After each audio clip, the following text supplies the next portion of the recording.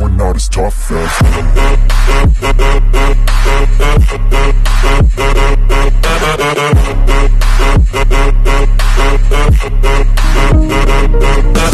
Mega love shoutout po mga Kawils lovers po ni Wills TV Mix Vlog.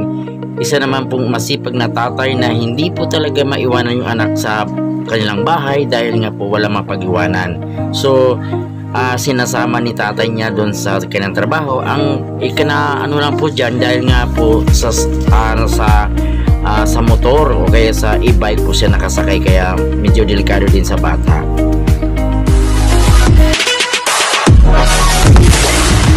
hindi niya maiwanan sa bahay niya.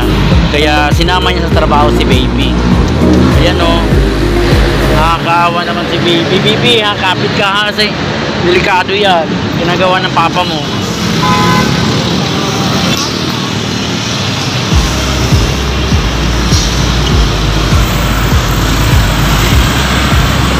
Ayan, may, may bata kasi dito na ano, ah, sinasama niya sa trabaho. Kaya,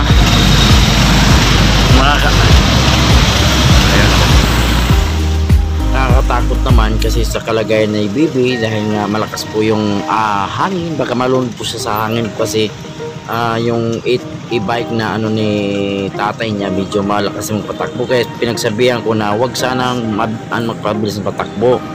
Dahan-dahan lang yung takbo niya dahil nga yung yung ano kasi peligro ng ano kasi eh, bata yan nasa front seat pa kaya nakakaano talaga sa bata yan Ah, sabi ng tatay naman daw sanay na sa biyahe. Pero nakaka ano din eh nakakatakot din pag ganun eksena talaga may madalas ba yan? Araw-araw ba yan? Ganyan?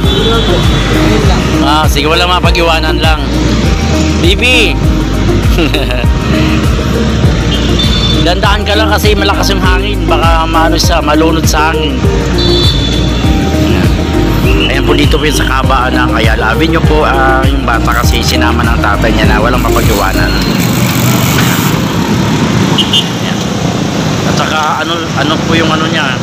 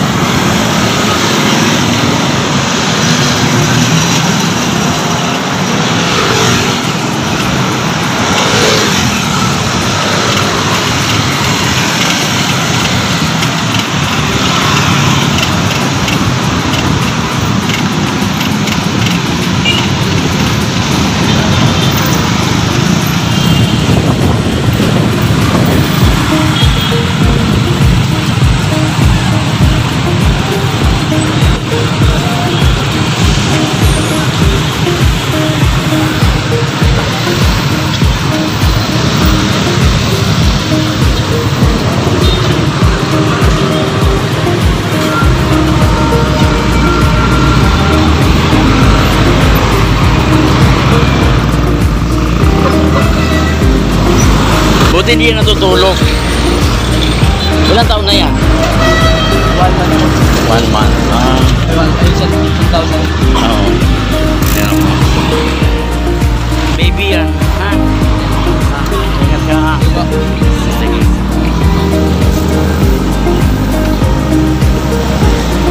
Ayan po, sa sobrang sipag ng tatay, hindi po talaga maiwanan kasi ang nanay daw niya may trabaho din niya sa malayo. Ayan po, yung sinasabi sa akin ng tatay niya. Kaya siya daw ang pag-iwanan. Eh, naman siya. Ayan po, thank you so much po sa panonood.